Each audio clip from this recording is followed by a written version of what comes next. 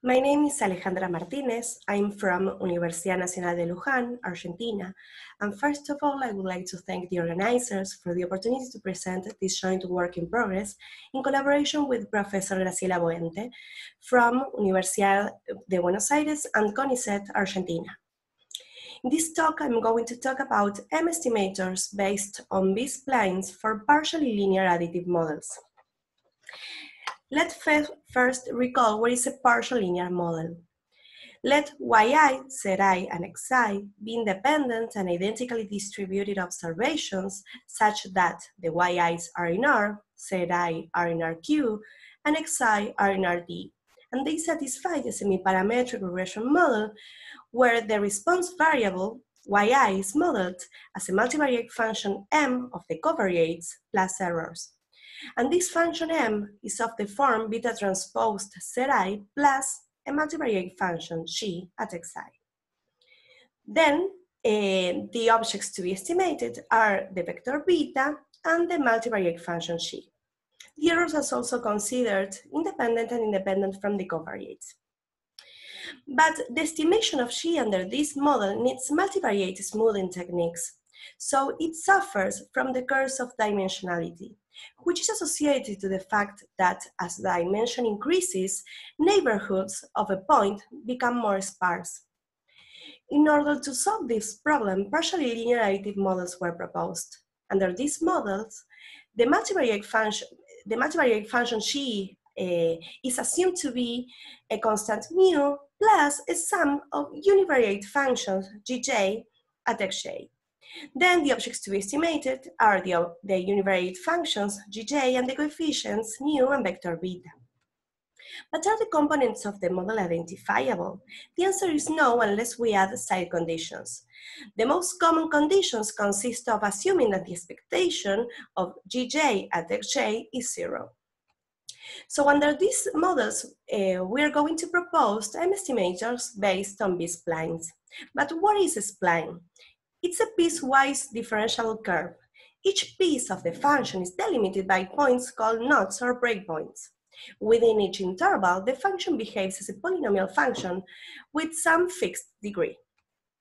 A fundamental theorem states that any spline function of some degree, smoothness, and domain partition can be written as a linear combination of polynomial functions of the same degree and smoothness, but only supported intervals of knots uh, with minimal support. And these functions are called B-splines. The number of internal nodes, n, plus the degree of the spline, plus 1, is equal to the number of terms, k, of the linear combination of B-splines. Let's see some examples of B-splines. Consider the interval 0, 1 and uh, zero internal nodes, that is n is equal to 0. Then the number of elements on the B-spline basis is d plus 1. So when d is equal to 0, we have just one B-spline function. But when d is equal to 1, we have two B-splines, uh, B-spline functions. And so on. When we add also a, one internal knot at 0.5, uh, we have a d plus 2 uh, elements in the base, in the B-spline basis. That's why when d is equal to zero, we have two B-spline functions. When d is equal to one, we have three B-spline functions, and so on. Uh, when is equals to three, uh, the B-splines are also called, called cubic splines. So the intuitive idea consists of considering a spline basis for each additive function gj in order to reduce the problem to estimate only the coefficients of a linear regression model. So we are going to approximate gj by a b-spline curve in the following way, where bs are the known b-spline functions, lambda s are the unknown coefficients, and kj is the number of terms in the basis or the number of terms in the sum. So our proposal consists of, with the number of terms in the sum fixed, uh, to approximate GJ by a linear combination of these splines. So by doing this, Now, the response variable, yi, can be approximated by a linear regression model with covariates uppercase gamma i. Then the objects to be estimated are the constant mu and the lowercase gamma, uh, which is a vector. So we're going to estimate mu and gamma using a robust M regression estimator based on this new sample. More precisely, mu hat and gamma hat are obtained by minimizing the objective function Ln defined in this way, where sigma hat is a robust scale estimator of the standard deviation sigma of the errors, and rho is a rho function. This rho function combined with the robust scale estimator allow us to um, downweight large residuals and so to obtain more resistant estimators. So the estimators of the additive components are defined in this way, and the estimator of the multivariate regression function is of this form. With respect to the asymptotic properties and the regularity conditions that include sigma hat to be a strong consistent estimator of sigma, we proved that the differences between the truths and the estimators tend to zero almost surely. Besides, we defined an M-scale estimator sigma hat that under mild conditions is a strong consistent estimator of sigma, satisfying the previous assumption. For the selection of the number of elements of the basis, that is K1 to KD, we proposed a generalization of the BIC criteria when the rho function involved in this formula is taken equal to the square function and this equal to 1, this criteria reduces to the BIC criteria proposed by He et al. 2002. With a real data example, we want to compare the performance of the robust proposal with its classical counterpart we considered 111 measurements of ozone in, New York between May and September 1973, corresponding to the air quality dataset available in R.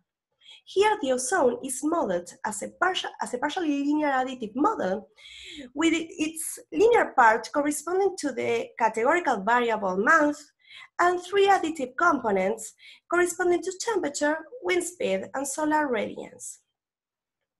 In order to compute the robust estimator and the generalized BIC criteria for selecting the number of terms in the basis of B-splines, we used the Tukey's B-square loss. And the classical estimator and the BIC criteria used the quadratic function. We also considered cubic splines, that is the degree of each B-spline is equal to 3 and same number of terms in the sum for the approximation of each additive function. After computing the BIC criteria, five terms for each additive function and both estimators were selected. These plots show the estimated curves for both classical in red and robust in blue, fits together with the partial residuals obtained by the robust estimation. Even though the shape of the estimated components are similar, some differences in their pattern can be highlighted. In order to explore the presence of potential outliers, the box, we plot the box plot of the residuals obtained uh, with the robust fit. And as you can see, four observations were detected, detected as, as outliers. Um, in black points, we can see the partial residuals corresponding to these four observations. To study the influence of, the, of these observations on the classical fit, we recompute the classical estimation without these four observations, and we obtained the following results. This table contains the estimations of the parameters mu and vector beta the first two columns correspond to the classical and robust fits uh, using the complete dataset, that is with 111 observations. But the third column corresponds to the new estimated uh, parameters by the classical fit without these four observations.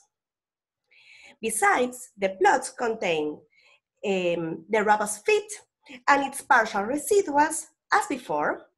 And in red lines, the new estimated curves uh, with the classical fit, but uh, without these four observations.